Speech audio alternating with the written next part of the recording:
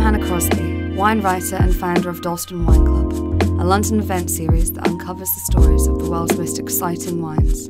I'm escaping the city with a couple of friends and Sussex Modern to explore the county's vineyards, meet its winemakers, and try its wines. English wine, particularly Sussex sparkling, has seen a meteoric rise in the past few years. As it turns out, the chalky Sussex soils are just the place to grow three types of grape needed to make world class fizz, as well as some seriously good still wines.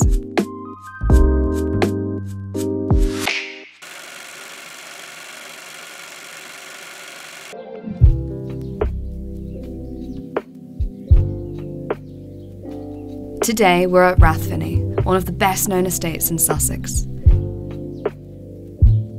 I've had their bottles in restaurants and wine bars across London, but now we're actually getting the chance to see how these luxury wines are made.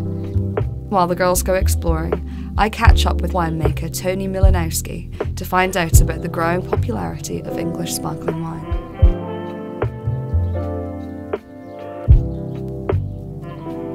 Rathfinny is kind of at the helm of this brilliant movement of the popularity of English sparkling wine.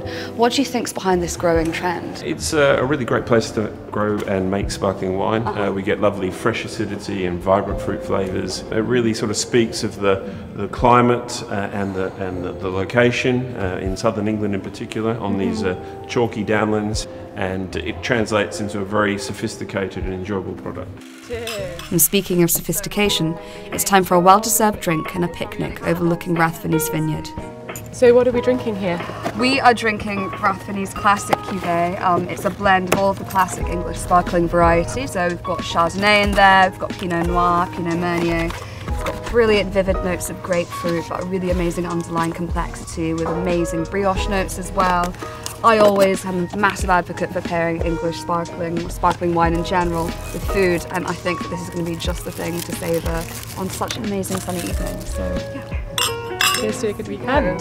After saying our goodbyes to the beautiful vineyards at Rathfinny, we had just one more stop to make Charleston House, the former home and studio of Vanessa Bell and Duncan Grant. This is a place where the norms were challenged and new ideas were formed, rethinking everything from art to sexuality. We immediately recognised it from Dior's latest runway show and spent time exploring every corner of the home and its stunning gardens. But now, it's time to relax in the sun and maybe enjoy one more glass of wine.